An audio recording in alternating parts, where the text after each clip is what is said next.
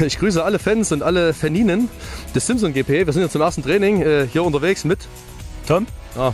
Wie oft lagen wir heute schon auf der Schnauze? Ja, zweimal. ich habe extra gesagt wir, weil ich gar nicht zum Glück. Mal sehen, vielleicht kommt das noch.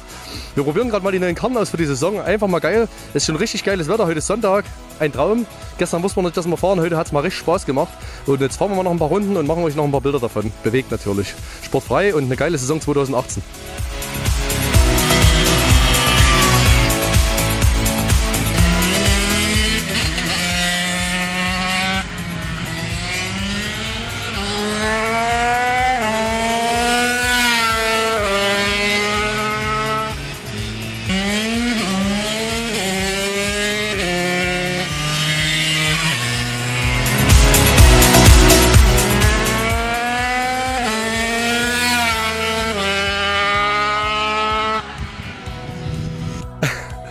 So, jetzt sind wir fertig hier.